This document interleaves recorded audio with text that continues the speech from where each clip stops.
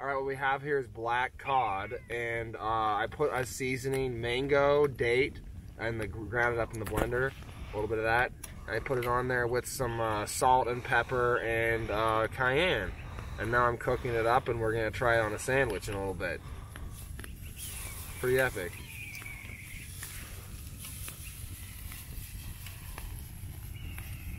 America. American Grillin'. You can hear the American uh, eagle screaming in the background. Take no substitutes for American grilling. Hey, look, it's actually over there. Right, look behind you. Right there. So it is, so it is. I told you, it's American freedom. It wants some fish. Yeah, it smells it, I guess. I'll give it a piece of fish. If it can. Damn. It smells like American freedom. Dude.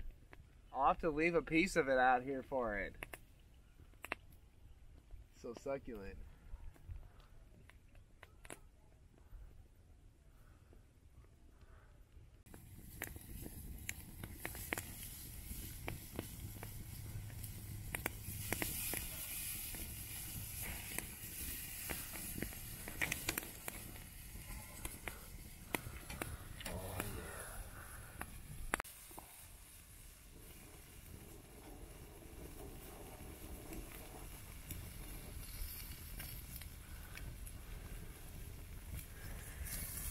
Just about done.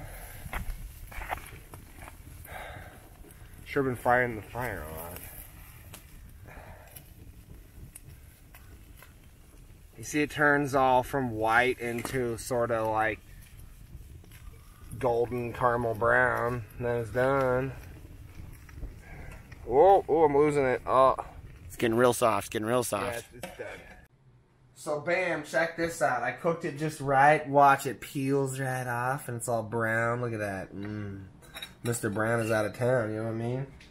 So then we'll set it on there, you know, get it divided up. The point is here, we're using the rye bread from Winco, whole wheat, you know. You got your authentic brown mustard, your basil. It's just a standard sandwich, you know, onions, lettuce, tomatoes. Mm, You know, that's about it. Uh, if you can get it, some artichoke hearts without artichoke hearts without salt. That's hard to say. Okay. Um, it's gonna be a delicious meal. That's all I know. Hmm.